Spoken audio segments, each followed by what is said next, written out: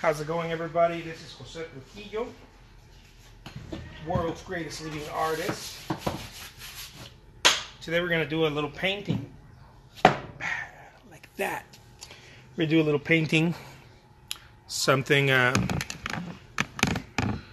more. Uh, what do we call this? Natural, nature, not natural, but nature. Here we go. Those of you who are like, oh my god, I love the way he paints. You haven't seen anything yet. You ain't seen no, no, no, no, no, nothing yet. Brandon. Here we go. Man, today I woke up like, I woke up like this. I woke up a little bit, uh, a little bit flawless. Oh, I had a, I had a massage. We get a, my wife and I get a massage therapist once a month. And uh, I mean, it's good for the muscles, right? Because I'm I use I use my hand all the time, right? My hands and whatnot. But uh, it also makes my body a little bit sore, and so I end up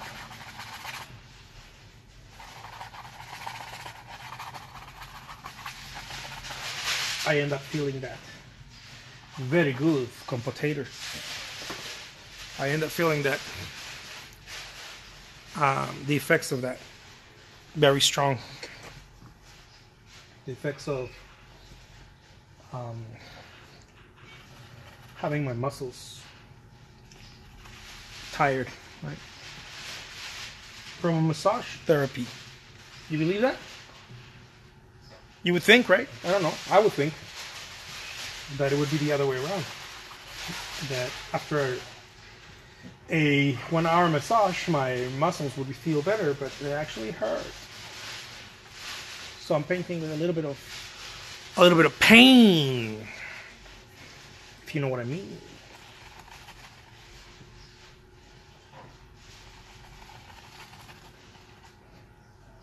If that makes any sense to anyone out there, please tell me if it does.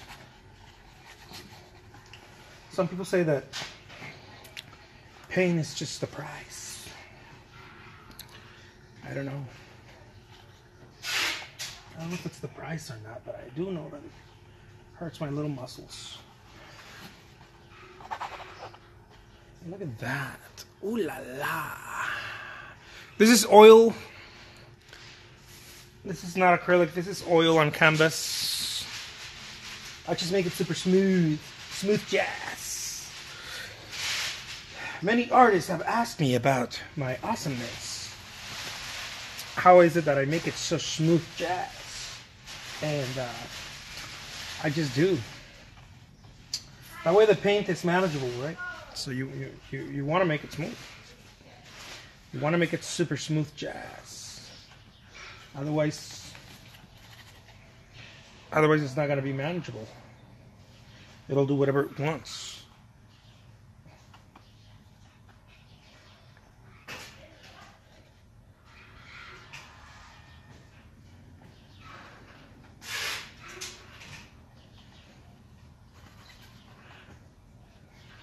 Look at that. Ooh la la. Thank you so much. Thank you so much. I really appreciate that. I appreciate all the love. So the work is, is fairly simple um, in execution, but uh, but uh, don't be deceived by my simple brush strokes. They are a product of 20 plus years of being in the game. So there, there's a lot of artists out there who want to make it uh, simple right away, and uh, and I highly recommend you practice simple, but but also remember you, you got to put in the time, right? You got to put in the time. You don't put in the time. You don't put those ten thousand hours. It's a little bit hard to make something uh, look so simple. It's a little bit harder, I would say. Not hard, but harder.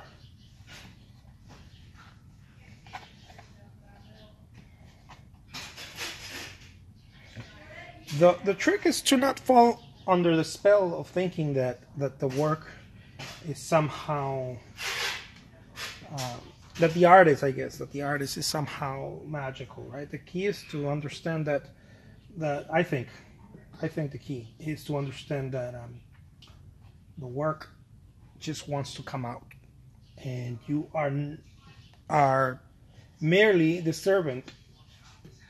You're like a those uh, um, birth birthers, I guess. I don't know. Is that what you would call them? The people that, that aid people uh, when they're giving birth. How would you call? How? Would, well, there's a name for those people. You're you're assisting the, the, the paint the artwork to come out. You're assisting it. You're like a little push here, a little push there, almost there, almost there. So that's the beauty of this type of painting that every little touch that I do, every little thing, it's it's intentional. As random as it looks, everything is intentional. The whole whole thing is intentional. Why is it intentional? Otherwise, it would never be there. Look, the the universe has conspired for this to be here. Might as well allow it to be there.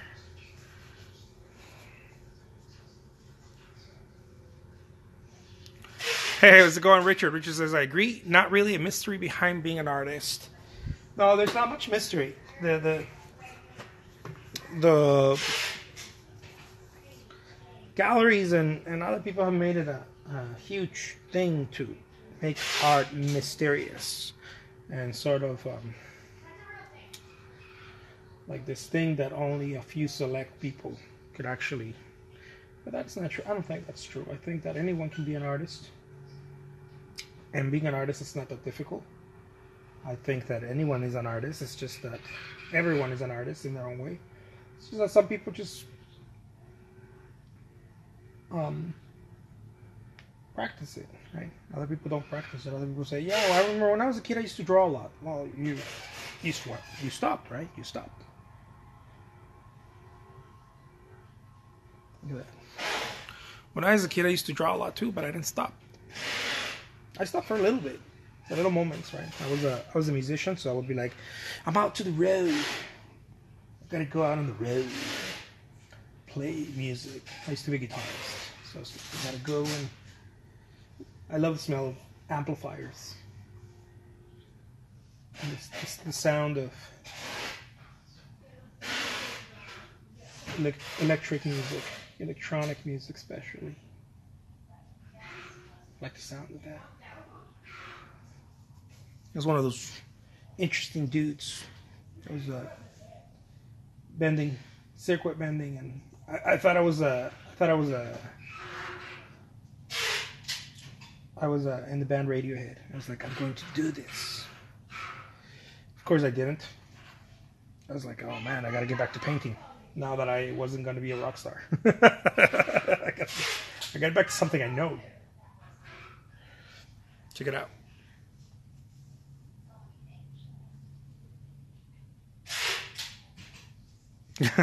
Richard says I ran, ran across snobby art salespeople at galleries. They're a joke.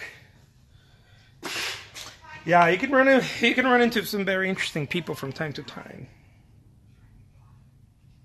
Look at that.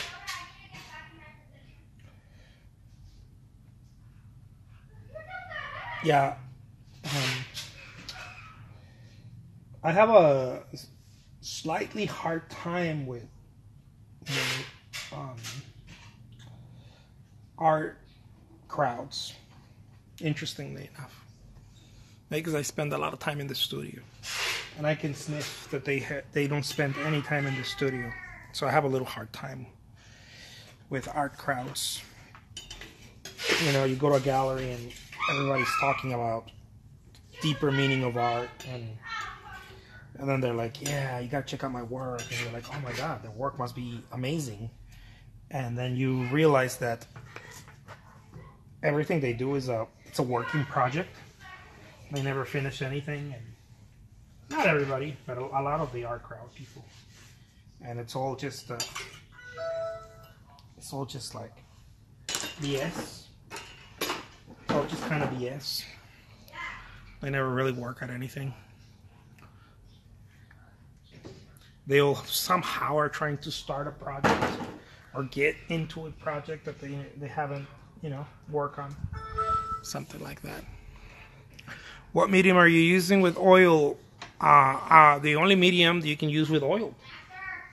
Oil. No, I'm just joking. now people use turpentines and whatnot. I use uh, walnut oil. Walnut oil. This is a very, uh, very expensive oil. It's about a hundred dollars a gallon. Walnut oil. That's what I use. Yeah. Um, you want to see the brand? You want to see the brand that I use? I'll show you the brand. Okay, here's the brand. Brand. Yeah, this gallon's about 100 bones. Just about anywhere. So, use with care.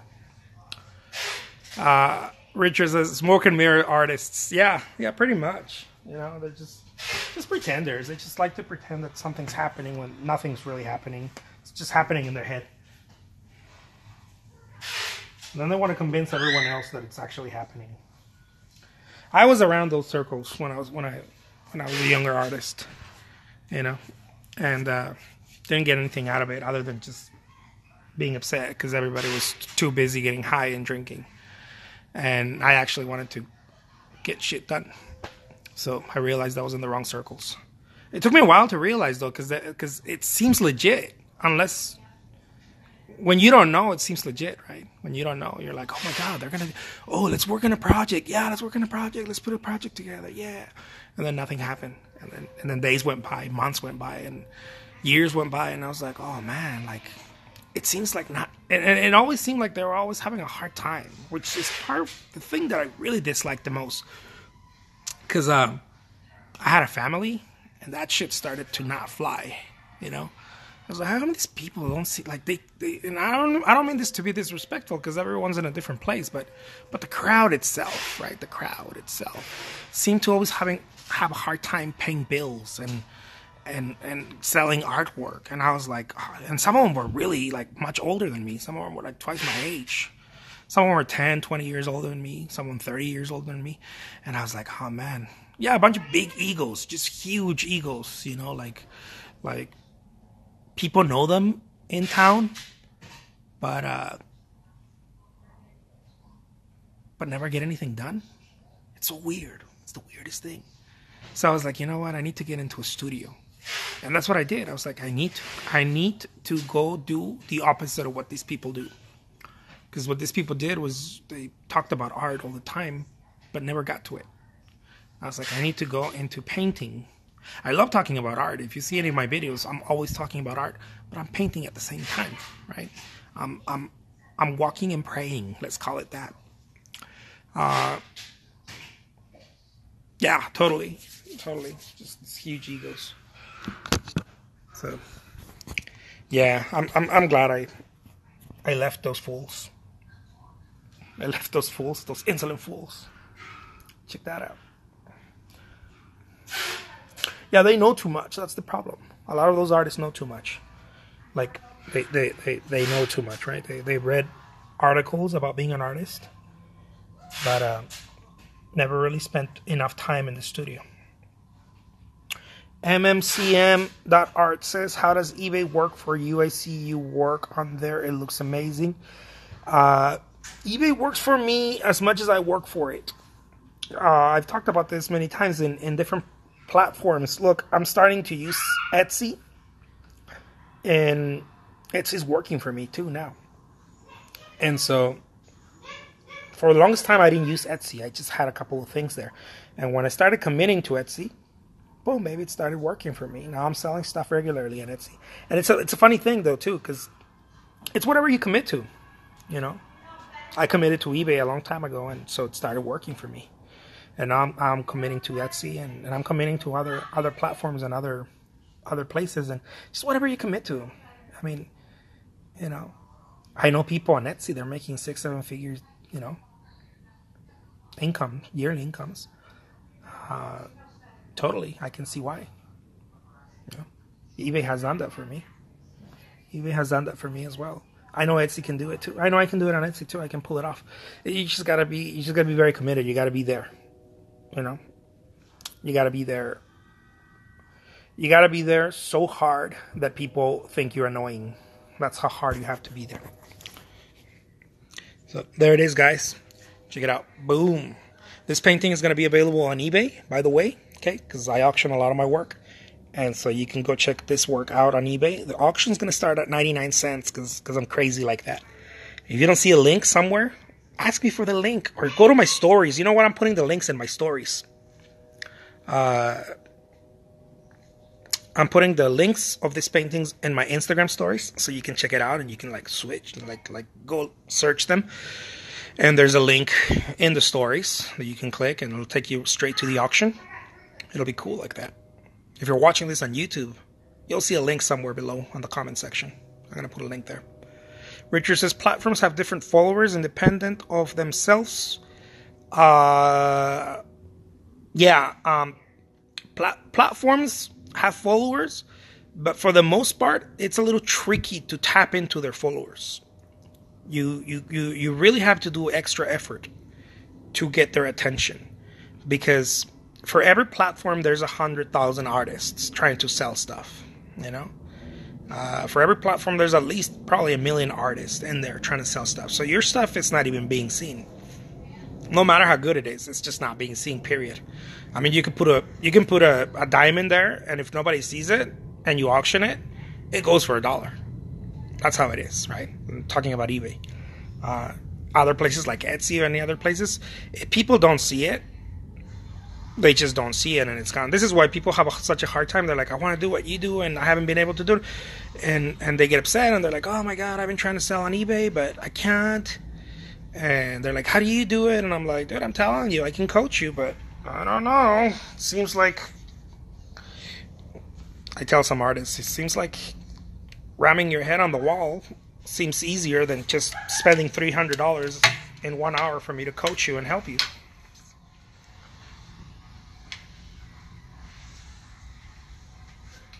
Yeah. So, the world's greatest living artist for a reason. Awesome work. Oh, thank you so much. I appreciate that. Love that. So yeah, guys. Um, different platforms. Doesn't matter the platform. It's very hard to get the people to watch your stuff. This is why there's like Marmalead for for Etsy and all these other things that help you. You know, SEO and you know to for those of you who don't know, like search engine optimization, like to find to find your stuff, right?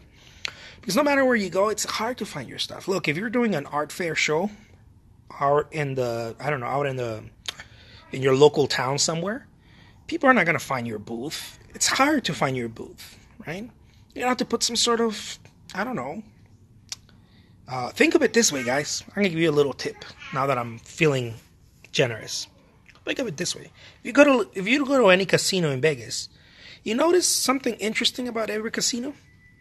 Just about every casino, the smart ones, right? I think they're all smart in the strip. You notice something interesting? They have an attention getting gimmick in front of it. They have an attention getting gimmick in front of the casino.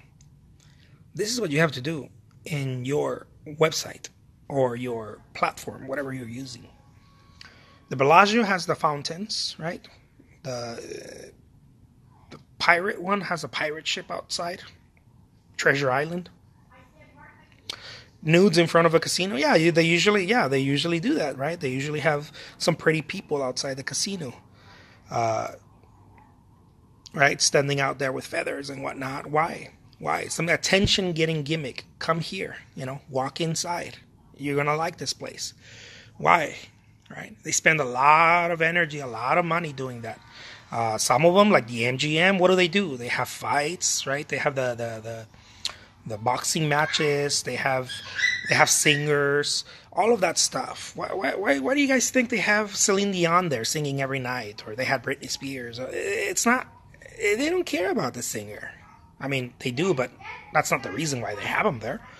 They have the singer so that people can go to the show and then walk out and then be like, oh, okay, where do we go now? Oh, let's stay here in the casino and have fun. Right? That's that's the whole the whole thing. So that's that's how your art business. If you want to model something, something intelligent, model model Vegas, model Disneyland. Look at what Disney does. Yeah, exactly. Look at what they do. They give you a ride, and then at the end, walk through the gift shop. You have to walk through the gift shop. They, they give you an attention getting gimmick that you're going to love, by the way. And then at the end, you have to pay something, right? Or, or you're offered something. You don't have to pay anything, but you're offered something. You're offered something. You're offered a, uh, some sort of pitch. Right? That's how everything is. This is how we make decisions for the most part. Right? It's it's emotional, and then we make sense of it later. We're like, well, I really need it, but do we really need it? Anyways, I'll leave you guys with that. If you like this painting, here's my pitch, okay? Now that you saw me painting, wink, wink, uh, go check it out on eBay. The auction's going to start at 99 cents, and uh, it's going to be pretty cool. All right? Take care, guys. Talk to you soon.